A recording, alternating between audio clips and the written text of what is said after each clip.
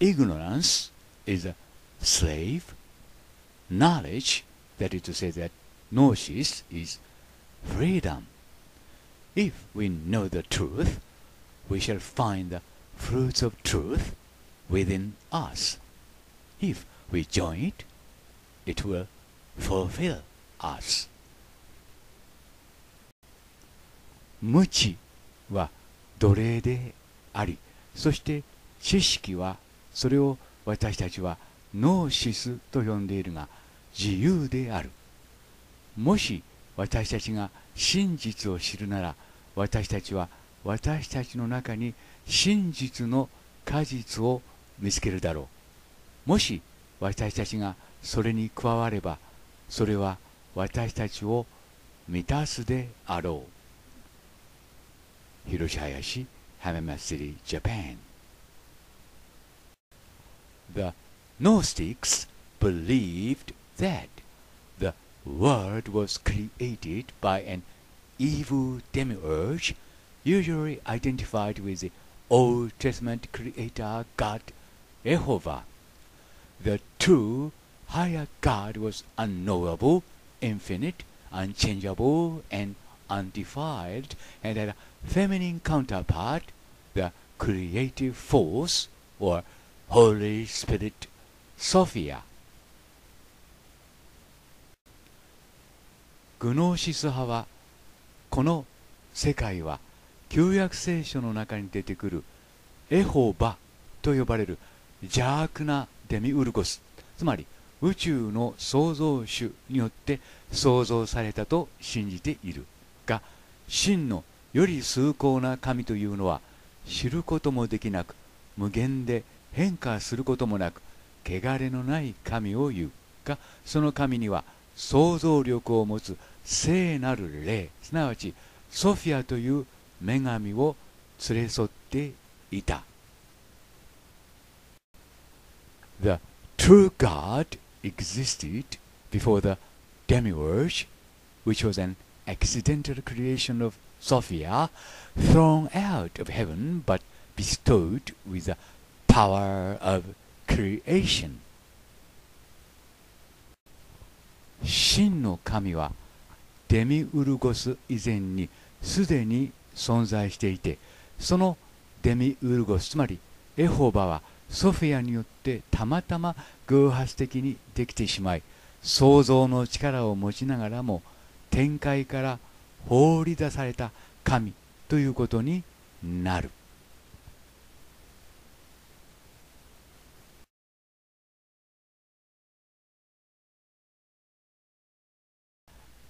Ultra Culture Gnostic website writes as follows The Gnostics believed that the world was created by an evil demiurge, usually identified with the Old Testament creator god Jehovah. The true higher God was unknowable, infinite, unchangeable, and undefiled, and had a feminine counterpart, the creative force or Holy Spirit Sophia. 超神秘グノーシスサイトによれば次のようにありますグノーシス派はこの世界は旧約聖書の中に出てくるエホバと呼ばれる邪悪なデミウルゴスつまり宇宙の創造主によって創造されたと信じていた。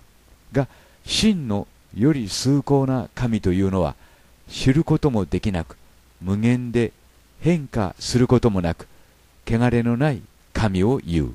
がその神には想像力を持つ聖なる霊すなわちソフィアという名前の女神を連れ添っていたと。広島林浜祭りジャパン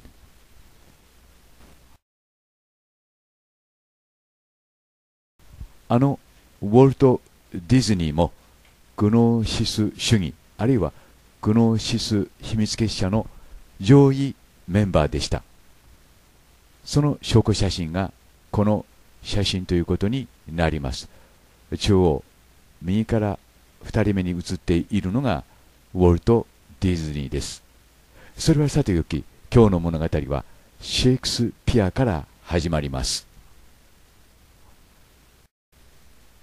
これはシェイクスピアがまだ生存中の1609年に書き表したとされる詩集14行詩の詩集です。この中にシェイクスピアと書いてありますけども名前に注意してください。シェイクスピアーズとなっています。槍を振るうという意味なのでしょうか。そして最後には S がついています。複数形ですね。で読み方によっては槍を振るうあるいはシェイクスピアの14行詞とも読めるわけです。ともかくもこんなところにハイフンがあり S がついていること自体が何か意味ありげということになるわけです。で名前をですねシェイクスピアで分けるとどうなるか。その文字の数はイエスキリストつまりジーザス・クライストの文字数と一致しています。どこかでイエス・キリストを意識していたのではないかと私林博は考えています。それにはこれから皆さんにお見せするいくつかの理由があります。熱心なキリスト教徒といえばそれまでですけどもその哲学はまさしくイエス・キリストの哲学と一致しています。話を先に進めます。シェイクスピアの哲学もしくは思想的背景というのはその本の表紙に描かれているこの絵を見れば分かります。この赤枠の部分に注意してください。ここには大変奇妙な絵が描かれています。中央上の子供に注意してください。子供の頭から7枚の花びらもしくは光線が出ているのが分かります。7です。7です。10の像の光線も7本です。つまりこのような形でシェイクスピアは自らがプリーメイソンのメンバーであることを示しました。シェイクスピアは現在フリーベルソンの外郭団体であるフラタニティという組織も立ち上げたと言われています。そのシェイクスピアの青年ですね。1564という数字に注意してください。1564をバラバラにして足しますと16です。でその16をバラバラにして足しますと7です。バビロニアの非数学にのっとっています。そして死亡年も1616年。この1616年をバラバラにして足しますと7足す7イコール 2×7 やはり同じくバビロニアの非数学にのっとっています。大変興味深いことにこの絵の中に2匹のウサギが描かれています。ウサギというのはイナンナ・イシタールのシンボリックな動物ということになります。当初チャーチ・オブ・ローマはイシタール教の色彩が強かったものと林博士は考えています。そしてそのイシタール教チャーチ・オブ・ローマがローマの国教と認められると同時にイシタールはイースターと名を変名します。そして現在の今でもローマンカトリックではイースターを最大の祭りとして祝っています。つまりマリアということになります。そのマリアが下の方に描かれているという点に注意してください。さらにこの絵には大変奇妙なものが描かれています。中央の部分の絵を逆さまにします。そしてその絵をシオン修道会の紋章と比べてみるとそのコンセプトが大変よく似ているのが分かります。右がシオン修道会の紋章です、まあ、十字軍の紋章と考えても良いわけですね。まあ、大変よく似ているということです。そしてシオン修道会の資料によればあのレオナルド・ダ・ヴィンチはこのシオン修道会の第12代グランドマスターであったことが分かっています。第12代グランドマスターであったことが分かっています。これがその資料です。サンドロ・ボッテチェリーの後を継いでレオナルド・ダ・ヴィンチ今中央ですねが第12代のシオン修道会のグランドマスターに就任していました。以上それぞれの芸術家と秘密結社が有機的つまり複雑に絡み合っているのが分かります。こうした事実をただ単なる偶然と言い切ってしまうことはできません。これも一つの例です。これはミケランジェロなる画家が描いたとされるカッシナの戦いの絵ですけどもその中に775027という数字が隠し込まれていました。バイ林博発見です。775027の意味はヘブライ語のゲマトリアつまり暗号によればキリスト聖書の会員であるという意味になります。つまり1500年後のイエスはこのような形でキリストというのは聖書でいうところの会員のことだよと私たち人間にメッセージを残したということになります。おそらくミケランジェロ自身もこの暗号を解けなかったものと私林印は考えています。その数字の中からダ・ヴィンチなる画家は752という数字を抜き出して自分の死亡日としました。ダ・ヴィンチは67歳の5月2日に亡くなったことになっています。67歳の5番目の月の2日に亡くなったことになっています。ミケランジェロがこの絵を描いた時同時にダ・ヴィンチはアンギャリの戦いの絵のスケッチ画を描き残していますがまだ生きていました。つまり生きている間に自分の死亡日を定めたということになります。分かりやすく言えば替え玉あるいは操り人形芸術家であったレオナルド・ダ・ヴィンチはその上の1500年後のイエスの意志により67歳の5月2日に死んだこととして処理されたということになります。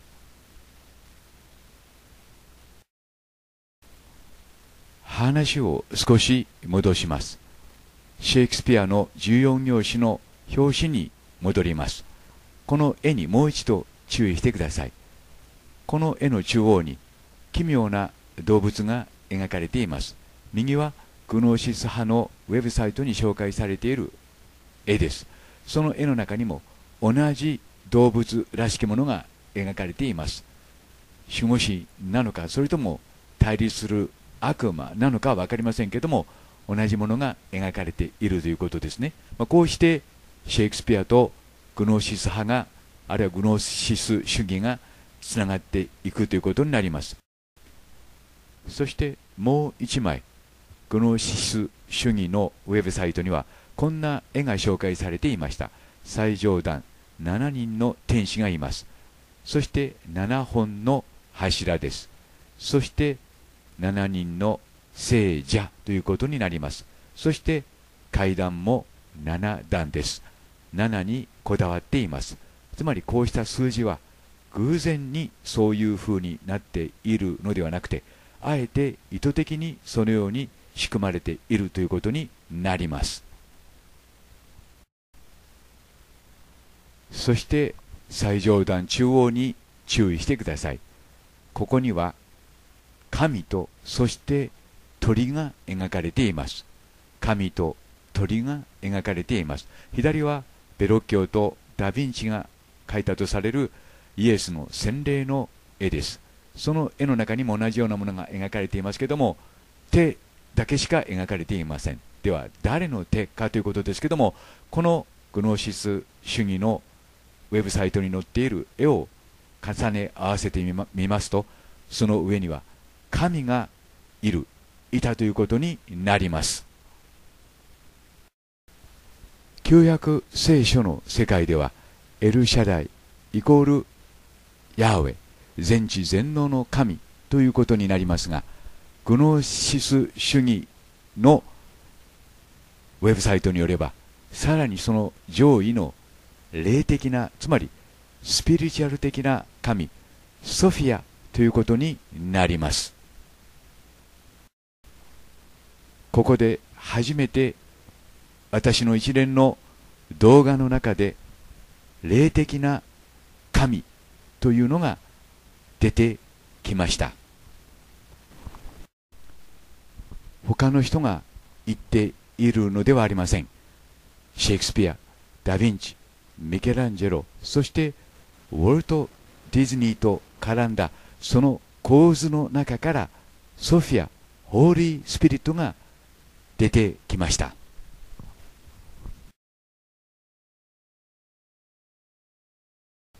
超神秘グノーシスグノーシス派サイト。その中には次のようにあります。無知は奴隷である知識。それをグノーシス派はグノシスと呼んでいる。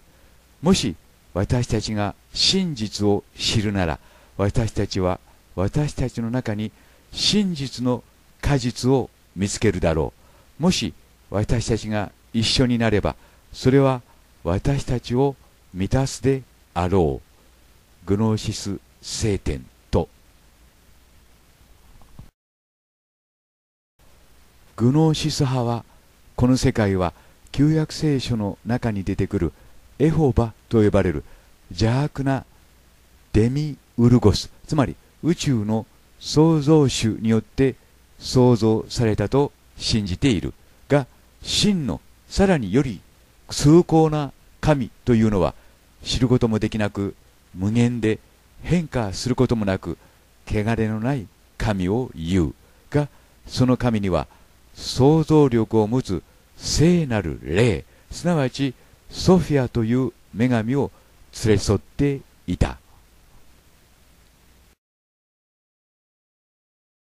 真の神はデミウルゴス以前にすでに存在していてそのデミウルゴスはソフィアによってたまたま偶発的にできてしまい創造の力を持ちながらも天界から放り出された神ということになる。と。こうした事実をどう捉えるかですけどもあのウォルト・ディズニーもグノーシス主義の支持者あるいは信者あるいは最高幹部であったと言われています。これがその証拠写真です。右から2人目がウォルト・ディズニーです。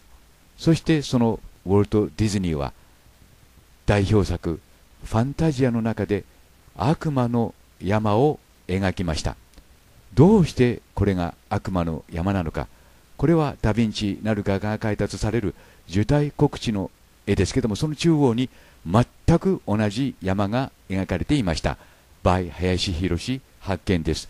そしてこの両者は 1+1 でストリックスつまり魔女であることを示していますがその中央にこの山が描かれています。つまりこの山は悪魔魔女の山ということになりますがそれを発見したのも私、林博です。つまり、私、林博が発見する前に、これが悪魔の山であることを知っていた人はいないということになります。当然、ウォルト・ディズニーもそれを知らなかったはずですが、そのウォルト・ディズニーは自分の代表作のファンタジアの中にこの山と同じ山を描き、それをボールド・マウンテン、つまり悪魔の山と位置づけています。これは偶然の一致なのでしょうか？左がダ・ヴィンチの主題告知の中に描かれている山です。右がウォルト・ディズニーがファンタジアの中に描いた山です。皆さん自身の目でしっかりと見て確かめて確認してください。これは偶然の一致と言えるのでしょうか？あるいはあるいは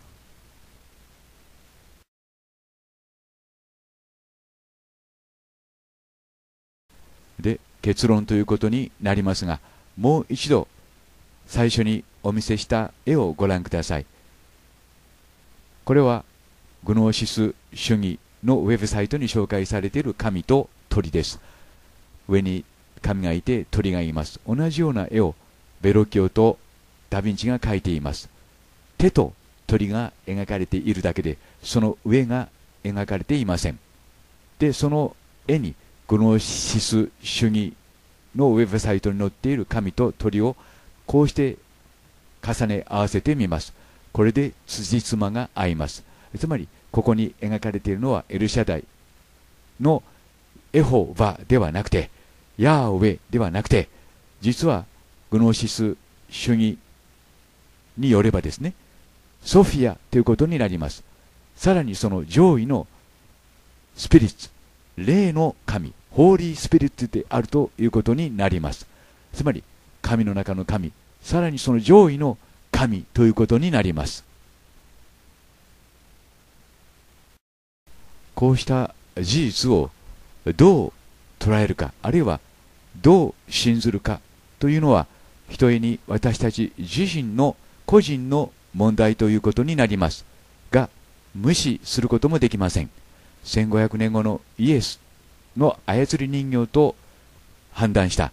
ダ・ヴィンチミケランジェロそして1600年後のイエスの操り人形と判断したシェイクスピアそして現代のウォルト・ディズニーが絡んでいるだけに無視することもできないのではないでしょうか。ということで今日は聖なる霊ソフィアの話をしました。私の動画の中で繰り返しになりますが霊という言葉が出てきたのは出てきたのは今日が初めてです。後の判断は皆さんにお任せします。Bye for now.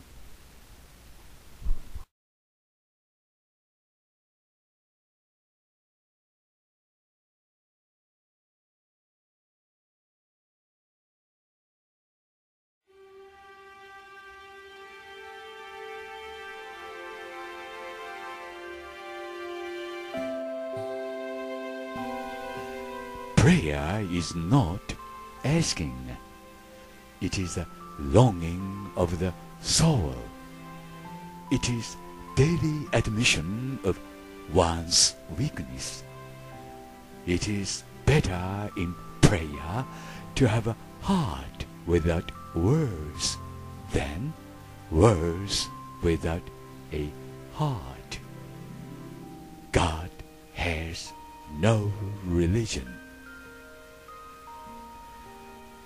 祈るということはねものを求めることではないのだよ。祈るということはね魂を求めることを言うのだよ。祈るということはねそれによって自分の弱さを日々に知るためのものなんだよ。その祈りにおいてはね心のない言葉よりも言葉のない心の方が大切なんだよ。神には宗教はないんだよ。